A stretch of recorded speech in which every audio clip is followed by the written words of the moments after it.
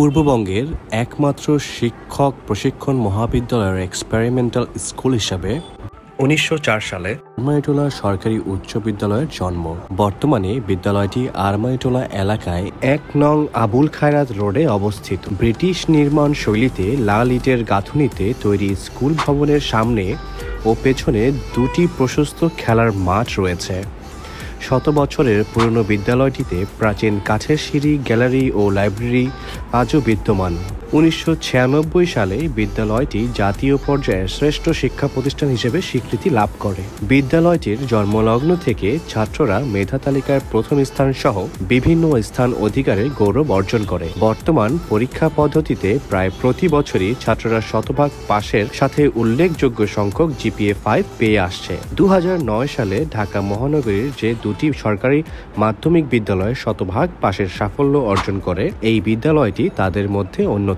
তৃতীয় শ্রেণি থেকে দশম শ্রেণি পর্যন্ত এই বিদ্যালয়ে উনিশশো ছাত্র বিদ্যমান রয়েছে। হতে পারে কম বেশি এখন রয়েছে এবং পঞ্চান্ন জন শিক্ষক, শিক্ষিকা রয়েছেন। বর্তমানে এর সংখ্যা কিছুটা বাড়তে অথবা কমতে পারে। আমি যদিও তথ্যগুলো বাংলাপিডিয়া এবং উইকিপিডিয়া থেকে নিয়ে দিয়েছি, সেখানে কিছুটা ব্যাকডেটেড থাকতে পারে। তথ্যে কোনো ভুল থাকলে আপনারা কমেন্টে জানাতে পারেন। এবং এই স্কুলের আরেকটি মজার তথ্য হলো যে আমরা এই স্কুলে ক্লাস থ্রি থেকে ভর্তি হতে পারতাম। এর মানে দাঁড়ায় ওয়ান টু এই ক্লাসগুলো এই স্কুলে নেই।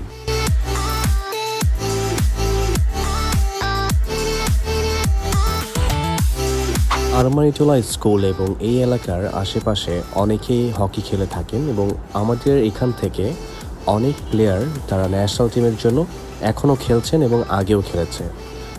আমাদের কোচ জনাব ফজলু, তিনি এখনও চেষ্টা করে যাচ্ছেন নতুন নতুন হকি প্লেয়ার বের করে আনার জন্য। তাকে আসলে মন থেকে কৃতজ্ঞতা এবং ধন্যবাদ।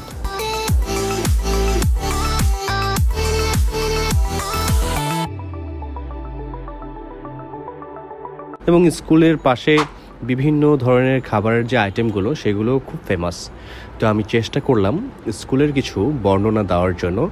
আমি এই স্কুলের একজন প্রাক্তন শিক্ষার্থী, আমি দু হাজার বারো সালে এই স্কুল থেকে আমার এসএসসি কমপ্লিট করেছি। এবং আমি খুবই গর্বিত যে আমি এই স্কুলের একজন স্টুডেন্ট এবং এই স্কুল থেকে ভারতের সাবেক প্রেসিডেন্ট প্রণব মুখার্জি তিনিও পাশ করেছেন।